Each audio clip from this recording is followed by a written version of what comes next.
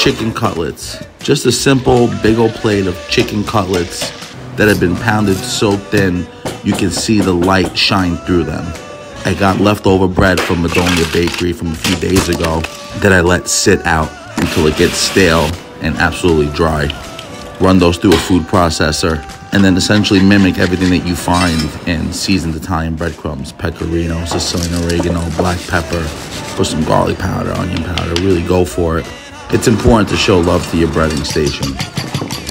I think that chicken cutlets fall under the category of like mom's meatballs, right? Everyone's household makes the best version of chicken cutlets. Who prefers them thin?